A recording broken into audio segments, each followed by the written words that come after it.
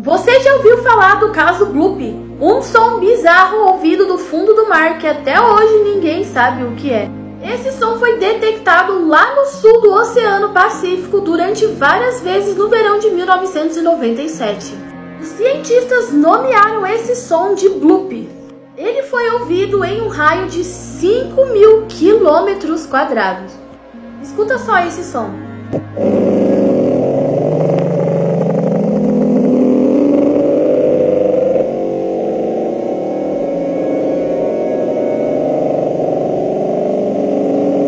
O mais bizarro é que no mesmo lugar onde foi ouvido esse som bizarro, bate exatamente com o mesmo local onde H.P. Lovecraft escreveu que existem criaturas gigantescas no fundo do mar.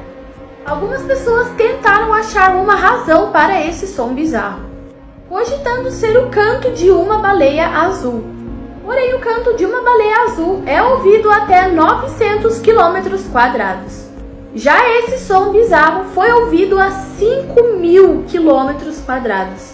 Lembrando que para um animal fazer esse tipo de ruído teria que ser um animal gigantesco, maior que um avião que tem em média 72 metros de comprimento.